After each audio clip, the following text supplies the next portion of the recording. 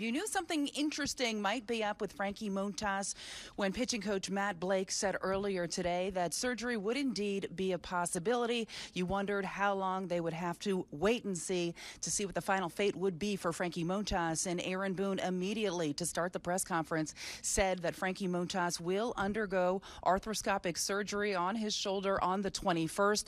Best case scenario, he'll be back in the second half of the season. Though Boone did admit that they're going to have to get in there, start the surgery, see what else they find, if anything, or if it's just a straight arthroscopic surgery. The Yankees have their fingers crossed there. So, what does that mean for the Yankees' rotation?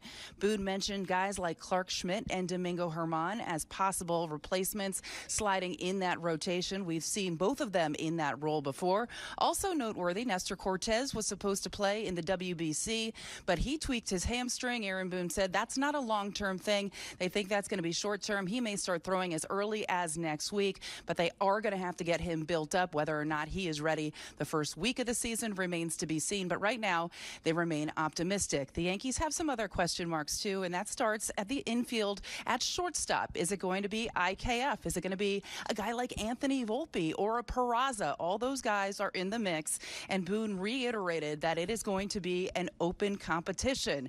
So that's something to watch throughout the course of spring training.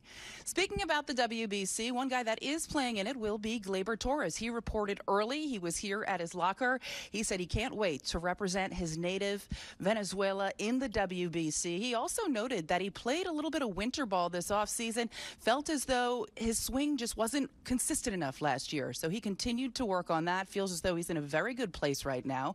Boone went on to say during this press conference he views Gleyber Torres as the starting second baseman for this team, but noted guys like DJ LeMahieu probably will get some time there as well.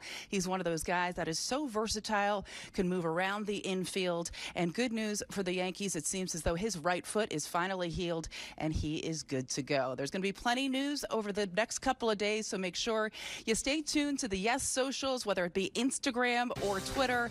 And don't forget, our first game is coming your way on February 26th. Yankees Braves game one of spring training. We will see you there. Thanks so much for joining us for this special Aaron Boone press conference. We'll see you on the 26th next.